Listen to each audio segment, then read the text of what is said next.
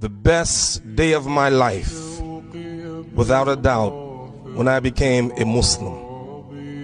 There is nothing that can compare for me the joy with being a Muslim. All of you brothers and sisters who've been blessed to have Muslim parents, you were born to Muslim parents.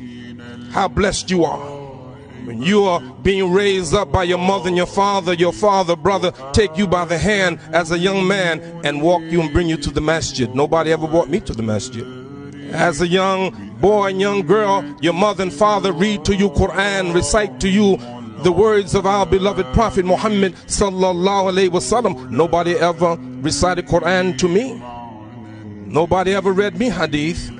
As you're a young child, your mother and father trying to encourage you to fast in the month of Ramadan. Nobody encouraged me to fast in the month of Ramadan. But this is the issue. The Prophet, peace and blessing be upon him, said, Innamal ahmalu bil khawatim. Your deeds shall be judged by your last deeds. Don't tell me how you were born, but tell me how you died. La tamutuna illa wa antum muslimun. Don't die!